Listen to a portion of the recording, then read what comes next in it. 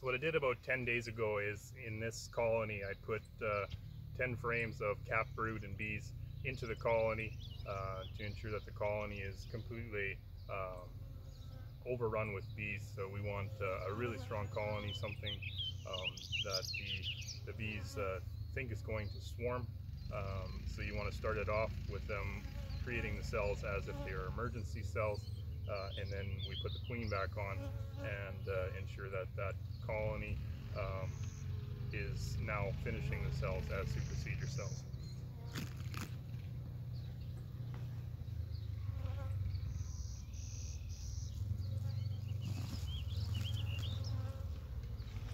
Don't have smoke along today, so the bees will be a little bit upset with me.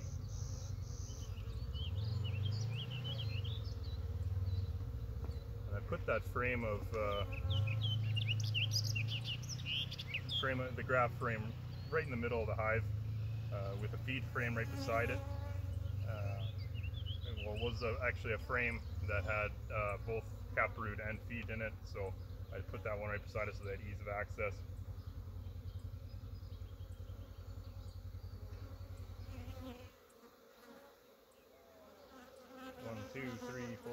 5, 6, 7, 8, 9, 10, 11, 12, 13, 14, 15, 16, 17, 18, 19, 20, 21, 22, 23, 24, 25,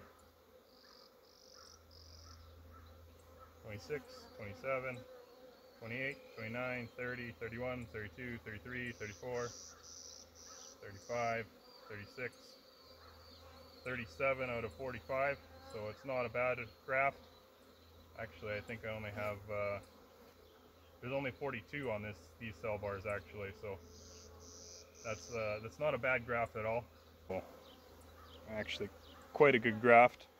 Uh, I'm, I'm fairly proud of that being, uh, I've only been grafting for a few years. Uh, this time of year it's actually quite easy though to uh, to get those good grafts. There's lots of nectar out there, lots of pollen, and the bees are ready to go when you when you set them up correctly. So we'll put that uh, that cell bar back in here.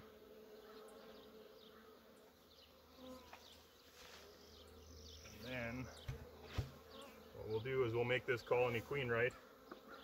I have an excluder under this box just to keep any rogue uh, virgins from, uh, or to dissuade any rogue virgins, virgins from uh, making their way into the hive and uh, wreaking havoc on it. So I'll just go and grab that other, uh, the queen that I originally took off.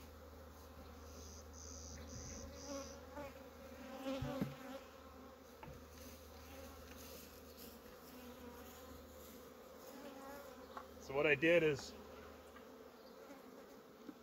I just took that queen out uh, with a frame of brood uh, and set her off to the side. Uh, I did it just to give them 24 hours without a queen. Uh, it makes for better acceptance. And now we'll just use that same queen to make this colony queen right.